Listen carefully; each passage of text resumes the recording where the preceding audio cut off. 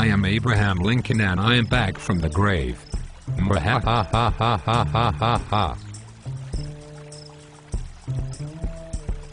Oh good heavens. What are you doing here? I am here to warn you about the use of nuclear energy. America is the second largest user in the world and I am here to stop that. Why stop it? Nuclear reactions produce a million times more power than hydro or wind energy so therefore I can give the country more electricity. True. However, what would your country say if they knew how much it costs to run one nuclear power station, that they have to pay through bills and taxes?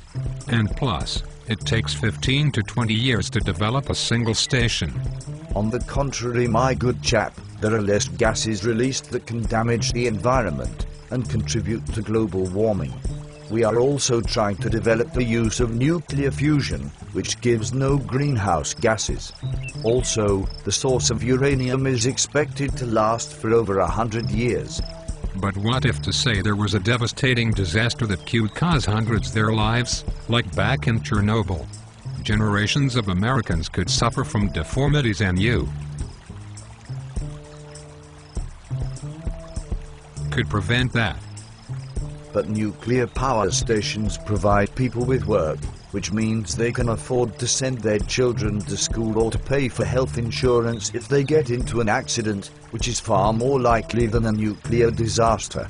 But it could be a terrorist target or terrorists could take the fuel and use it in nuclear weapons. Or what about the radioactive nuclear waste? There is no safe place that you can store it.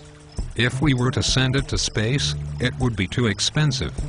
It is far safer to use alternative energy, such as wind. But wind turbines would cause visual pollution. They can be as high as 300 meters. Plus, they aren't reliable because we can't be exactly sure on how much wind there will be. There are other types of renewable energy like solar. You should think about all your options.